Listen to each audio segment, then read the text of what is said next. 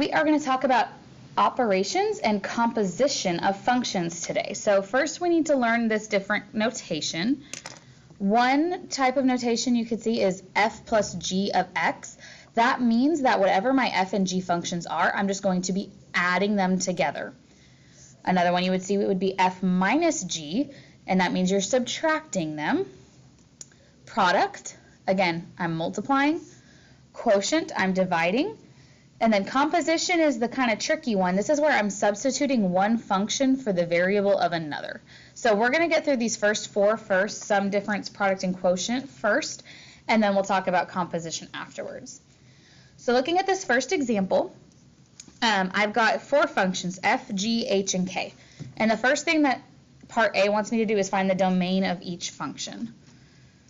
So I'm just going to go through each one. On f, I do not have x in a denominator and I do not have x in a radical, so my domain is going to be all real numbers. Again on g, I do not have x in a denominator, I do not have x in a radical, so my domain is all real numbers. Same story on h and on k. All right, so now let's look at some operations. Part B wants me to find h plus k of x. This just means I want to find h of x plus k of x. Here are my two functions, h and k. So that's going to be 2x squared plus 3x minus 1 plus 4x minus 5. And I'm just going to combine my like terms and consolidate. I don't have another x squared term. 3x and 4x gives me 7x. Negative 1 and negative 5 gives me negative 6. And so that is it. That is my final answer. Looking at C, this one is product h times k. So I'm going to take my h of x function and multiply it by my k of x function. So I'm using the same two I did on part B, except this time I'm going to be multiplying them.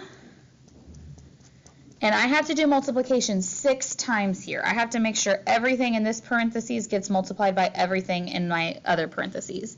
So I'm just going to go in order. 2x squared times 4x, that gives me 8x to the third.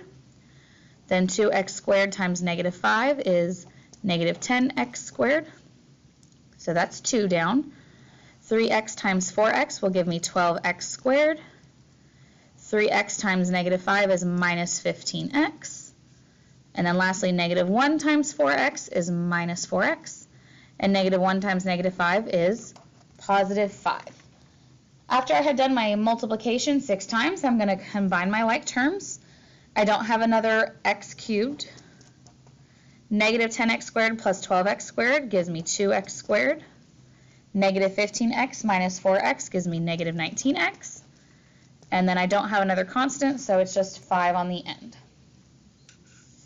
Okay, on to part D, h minus k of x. This means I'm going to take my h of x function and subtract my k of x function. So I'm still working with those same two as I did earlier. 2x squared plus 3x minus 1 minus 4x minus 5. The parentheses here is very, very important because this minus sign in the middle has to be distributed to my second function. So what that means is I'm going to get negative 4x plus 5. You have to distribute the negative and putting those parentheses there increases your chances of remembering to do that. So now I can combine my like terms. And there is my final answer. On part E, we're moving away from H and K and we're going to look at F and G now. Again, this is subtraction. So I'm going to take f of x and subtract g of x. Here are my two functions, f and g. And the second one I'm going to be sure to put in parentheses because I want to distribute that minus sign. So that will be minus x minus 2, combining my like terms. And there I go. Um, on f, I am multiplying again, f of x times g of x. Oops. And I'm going to have to do multiplication six times again because I'm multiplying a three-term function by a two-term function. x squared times x gives me x cubed. x squared times 2 gives me 2x squared. 5x times x gives me 5x squared. 5x times 2 gives me 10x.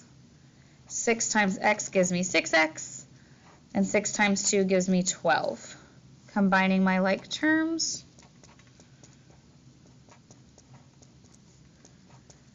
And that's the end. Okay, last one for this front side. This is my quotient, so this just means I'm going to take f of x and divide g of x. So I've got x squared plus 5x plus 6 divided by x plus 2. Now, can I simplify this? The answer is yes, and to figure out how, I need to factor the top. So this is just a trinomial, two numbers that multiply to 6 and add to 5 are 2 and 3. So I can factor the top into x plus 2 and x plus 3. So the x plus 2 and the x plus 2 will divide out to be 1, and so my leftover is x plus 3. Now, if it's the case that you can't simplify anything, you would just leave it like this. Sometimes you'll be able to find a common factor and reduce, but not every time.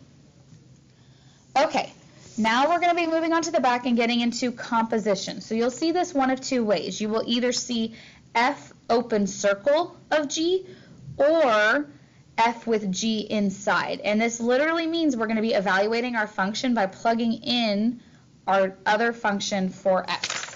So we'll see what that looks like. On this example 2, I've got f and g, and I want to find f of g of x. So what this means is I am going to be taking my function f and plugging in g in its place.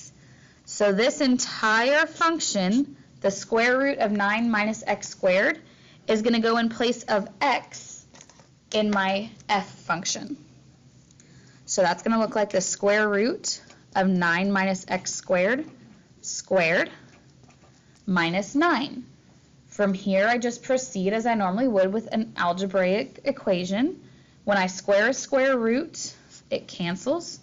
So I have 9 minus x squared minus 9. Combining like terms, negative x squared is what I'm left over with because 9 minus 9 goes away. So f of g of x is negative x squared. Now, what is the domain of that function? In my final function, I'm not dividing by x, and I do not have x in a denominator. Um, and sorry, and I don't have x in a radical, so my domain is going to be all real numbers.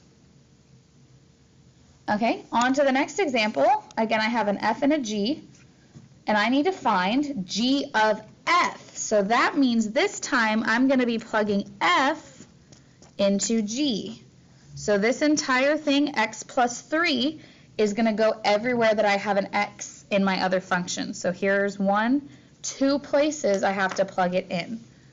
So that's going to be x plus 3 squared minus 2 times x plus 3 minus 15. You have seen something very similar to this before when we were talking about functions and evaluating functions. Remember when I'm squaring a binomial, that means I am foiling, not just distributing the square. So this will give me x squared plus 6x plus 9, distributing the negative 2 here, and then combining my like terms.